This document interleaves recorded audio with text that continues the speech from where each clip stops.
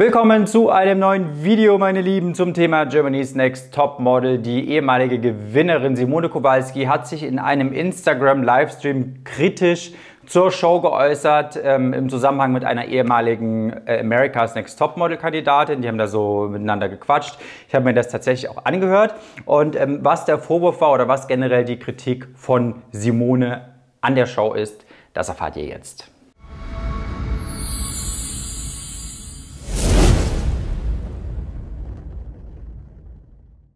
Meine Lieben, ich freue mich, dass ihr wieder am Start seid. Endlich wieder Germany's Next Topmodel, wenn auch nicht unbedingt in einem positiven Zusammenhang, aber ich dachte, wir sprechen trotzdem einfach mal darüber. Deswegen äh, hoffe ich, dass ihr hier an meiner Seite seid und auch sachlich kommentiert. Gebt mir gerne einen Daumen nach oben, wenn ihr ja das Gefühl habt, das ist ein cooles Video oder generell eine interessante Thematik. Einleitend möchte ich sagen, dass man generell ja Sorgen Ängste, Gefühle, Empfindungen oder erlebte Sachen ernst nehmen muss. Ja? Also nehmen wir jetzt einmal mal das Beispiel Topmodel. Äh, wenn jetzt 100 Kandidatinnen sagen, das war das beste Erlebnis äh, aller Zeiten und eine Kandidatin sagt, für mich war es der absolute Albtraum, dann heißt das nicht, dass die anderen alle recht haben und die nicht, sondern Erfahrungen, Erlebnisse, Gefühle sind einfach individuell. Deswegen nehmen wir das Thema ernst, machen uns bitte nicht lustig darüber und ähm, ich erzähle euch jetzt erstmal so ein bisschen, was passiert ist. Ich werde auch gleich noch ein paar Zitate vorlesen. Ich erkläre euch auch, warum äh, ich hier keine so wirklichen Szenen reinschneiden kann, weil ein Teil dessen auch nicht mehr vorhanden ist. Also kurz zusammengefasst, Simone hat ein YouTube, das erzähle ich immer YouTube, sie hat einen Instagram-Livestream gemacht mit einer ehemaligen Kandidatin von America's Next Topmodel und diese Topmodel-Debatte gab es tatsächlich auch in Amerika. Äh, allerdings schon im letzten Jahr, da wurde da ganz groß drüber ähm, gesprochen und äh, die ehemalige Kandidatin ja, spricht tatsächlich öfter über diese Themen. Da geht es auch im Kern um mentale Gesundheit und sie hat sich äh, Simone rausgepickt und sie haben da drüber gesprochen, natürlich auf Englisch. Und ähm, man kann sich leider nur noch einen Teil dieses Livestreams angucken. Den werde ich aber auch unten in der Infobox verlinken. Das war der zweite Teil, der ist auch interessant. Der erste Teil war fast noch interessanter. Der ist leider, ähm, ja, irgendwie ist die Verbindung abgebrochen und deswegen konnte der Livestream nicht gespeichert werden. Ich habe den aber gesehen, war auf jeden Fall sehr gut. Und da wurde halt ähm, einiges erzählt. So, jetzt ist es auch äh, der Fall, dass verschiedene Medien auf diesen Fall nochmal aufgesprungen sind, darüber berichtet haben. Und deswegen werde ich euch jetzt nochmal ein paar schöne Zitate vorlesen von dem, was auch in den Magazinen steht. Werde ich auch in der Infobox verlinken. Aber wie gesagt, ihr könnt euch gerne diesen zweiten Teil des Livestreams auf jeden Fall angucken. Also, im Artikel geht es ja darum, dass sich Simone nicht zum allerersten Mal kritisch über Germany's Next Top Model äußert. Ich muss aber auch dazu sagen, das war auch gerade wirklich sehr dominant im ersten Livestream, den es leider nicht mehr gibt. Deswegen kann ich das jetzt nicht beweisen, was ich sage. Aber ich weiß nicht, ob es im zweiten Teil auch vorhanden ist, aber ich glaube nicht so sehr wie im ersten. Da hat ähm, Simone aber auch immer so die Grenze gezogen zwischen Heidi Klum und der Produktion. Also der Vorwurf ging primär in diesem Livestream an die Mitarbeiter und ähm, nicht so sehr an Heidi Klum. Die gleiche Thematik gab es, wie gesagt, auch in Amerika, ähm, wo dann die äh, andere Kandidatin dann auch mal so die Frage gestellt hat, so, okay, Tyra Banks ist ja quasi mit die Erfinderin, sie war der Host von America's Next Top Model, gibt es ja, wie gesagt, seit 2018 nicht mehr. Und die Frage wurde dann halt so gestellt, inwieweit bist du involviert, inwieweit weißt du, was hinter den Kulissen passiert oder nicht. Dazu kann ich jetzt nichts sagen, weil äh, ich weder Tyra Banks noch Heidi Klum bin. Ähm, ja, hier steht zum Beispiel, wie gesagt, das sind alles Themen, die in diesem Livestream auch besprochen wurden, dass sie tatsächlich ja nach ihrem Sieg 2019 so ein bisschen untergetaucht ist. Das haben wir auch alle natürlich ein bisschen mitbekommen. Ne? Wir alle haben von Simone leider nicht mehr so viel gehört. Doch jetzt hat sie den Mut gefasst, wieder zurückzukommen und äh, hat in diesem Livestream gesagt, dass sie Angst hatte, die Wahrheit auszusprechen. Deswegen hat es jetzt fast vier Jahre gedauert, sich wieder ich sag mal, ein bisschen dominanter zurückzumelden. In dem Livestream äh, sagt Simone, dass sie zum Beispiel eine alte Fußverletzung hatte. Das ist jetzt für uns nicht neu, das wissen wir, glaube ich, ne? aber ich möchte es nochmal in Erinnerung bringen. Und die hatte sie sich während ihrer Zeit als Leistungssportlerin zugezogen. Und sie hatte während der Dreharbeit natürlich immer so ein paar Probleme. Ist ja klar, wenn du so eine Verletzung hattest. Und hat auch das Finale mit einem Verband absolviert. Und wir alle erinnern uns, dass sie auch oft gestolpert ist, was nicht daran lag, dass sie nicht laufen kann, sondern was einfach daran lag, dass sie diese Verletzung hatte. Wir haben diesen Verband auch gesehen. Und wenn ihr euch zurückerinnert, ähm, habe ich ja damals, einen Tag vor dem Finale, so einen kleinen Vlog gedreht, wo ich die Kandidatinnen besucht habe vom Hotel. Da habe ich ja dann auch, ich glaube, das erste Mal auf Simone getroffen. Und da hatte sie auch ganz kurz angedeutet, dass sie auf jeden Fall gesundheitliche Probleme hatte. Also da erinnere ich mich auch noch dran. Äh, sie sagt, dass sie von der Produktion nicht ernst genommen wurde. Sie nutzt meine Verletzung aus. Das hat meinen Körper zerstört. Hier steht, anstatt auf Simones Verletzungen Rücksicht zu nehmen, schickte man sie in viel zu großen High Heels über den Laufsteg. Als sie hinter den Kulissen in Tränen ausbrach und Gastjurorin Lena Gerke um Hilfe bat, habe diese die Problematik ins Lächerliche gezogen. Sie hat mich einfach ausgelacht und gesagt, ich solle mir Klopapier in die Schuhe stopfen. Es war unmenschlich. Sie haben mich seelisch gebrochen. Das sagt Simone.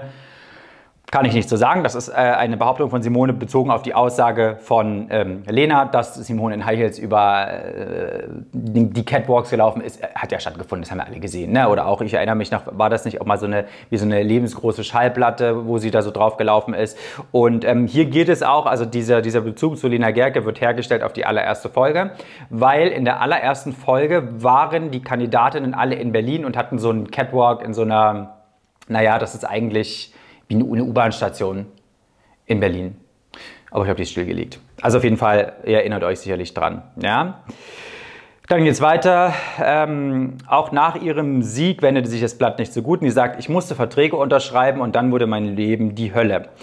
Wie alle Gewinnerinnen kam sie bei, Model, ähm, bei der Modelagentur von Günter Klum unter Vertrag. Doch anstatt lukrativer Jobs herrschte gehende Leere in Simonis Terminkalender. Sie sagt, sie haben mir alles genommen, ich habe fast meine Familie verloren, meine Freunde, all mein Geld. Das ist wahrscheinlich bezogen darauf, dass es ja damals die Probleme gab mit der Agentur, dass sie aus diesen Verträgen ähm, raus wollte, wie viele andere Kandidatinnen auch. Und man muss auch dazu sagen, dass es die Verträge mit der Klum-Agentur seit 2021 nicht mehr gibt. Also scheinbar hat man diese Problematik bei ProSieben oder bei wem auch immer erkannt. Und ähm, genau, Günter Klums Agentur ist nicht mehr Teil von Germany's Next Top Model. Dann äh, geht es hier weiter. Einer der wenigen Jobs war ein Shooting für das Männermagazin Playboy. Doch auch darüber sagt sie dann, selbst das haben sie mir genommen. Denn Simone wollte aus dem Vertrag mit Günter Klum raus, habe ich ja gerade schon gesagt, einigte sich Ende 2021 vor dem Landgericht, habe ich damals ein Video drüber gemacht. Ähm, der Vertrag wurde dann rückwirkend aufgelöst. Für sie bedeutete das aber, dass die Playboy-Gage zurück an die Agentur ging. Deswegen habe ich mir jetzt nochmal einen alten Artikel aufgerufen, um das auch nochmal ganz kurz ein bisschen im Detail zu erklären, warum das so war. Kleinen Moment. Also, äh, genau, sie hat dieses Playboy-Shooting gemacht und äh, zu diesem Zeitpunkt äh, hatte sie wohl die Zusammenarbeit mit der Agentur im Prinzip beendet, aber der Vertrag lief natürlich noch. Ja. So, hier hat sie äh, auch gesagt, das ist ein Artikel von T-Online, kann ich auch noch unten verlinken. Ich habe einen massiven psychischen und körperlichen Schaden davongetragen, so Simone Kowalski. Die Germany's Next Topmodel-Siegerin sei zu dem Vertrag mit der Agentur nach ihrem Sieg gezwungen worden, behauptete sie. Günter Klum sieht das anders. Er hat damals gesagt, unsere Models bekommen genügend Bedenkzeit, nachdem wir ihnen den Vertrag vorgelegt haben. Zudem habe der 75-Jährige und sein Team während des Arbeitsverhältnisses auf ihren Gesundheitszustand Rücksicht genommen. Und das Gericht hat dann damals entschieden, dass der Arbeitsvertrag rückwirkend zum 30. November 2020 aufgelöst wird. Das Model bekommt sein komplettes Gehalt nachträglich gezahlt, muss dafür aber die Gage für das Playboy-Shooting an die Modelagentur zahlen. Die Summe wird Günter Klum an ein Kinderhospiz spenden. Und jetzt fragt ihr euch wahrscheinlich, warum sie die Gage nicht behalten durfte, wenn ich mich richtig erinnere. Ich möchte jetzt nichts Falsches sagen, ne? also verlasst euch nicht drauf. Aber ich habe in Erinnerung, dass es damals bei den Verträgen mit der Agentur so war, dass die Gewinnerin oder ich glaube, es waren sogar die Top 3 immer der Vertrag, dass die eine monatliche Pauschale ausgezahlt bekommen, einen monatlichen Betrag. Bei der Siegerin ist das natürlich ein bisschen höher, weil sie hat ja auch diese Gewinnsumme bekommen. Das wird als monatliches Gehalt ausgezahlt, erstmal unabhängig davon, ob du Jobs hast oder nicht ist quasi eine Garantie dafür, dass du die nächsten Jahre ein Gehalt bekommst, um dich als Model zu etablieren. Ob man sich jetzt mit der Günter Klum Agentur One 1 als Model etablieren kann, kann man jetzt in Frage stellen. Ich glaube, diese Thematik haben wir schon geklärt. Und dann ist es so gewesen, dass alles, was du halt verdient hast, darüber hinaus, ist halt bei der Agentur geblieben. Das heißt, du hast kein extra Geld für extra Jobs ausgezahlt bekommen. Bedeutet, du hast die Gewinnsumme, du musst die in Anführungsstrichen, ich sage jetzt mal, abarbeiten. Wenn du sie nicht abarbeitest, ist es in Anführungsstrichen auch egal, weil du das Geld halt trotzdem bekommst. Aber du bekommst in der Regel halt keine Bonuszahlung obendrauf. Und deswegen musste die, so habe ich es verstanden jetzt, deswegen musste dieses Gehalt an die Agentur gehen, der Arbeitsvertrag wurde aufgelöst und sie hat dann rückwirkend noch das Geld bekommen, was irgendwie zustand. So viel dazu. Im ersten Livestream hat sie auch so ähm, ein bisschen erzählt, auch über Joy, was auch sehr interessant war.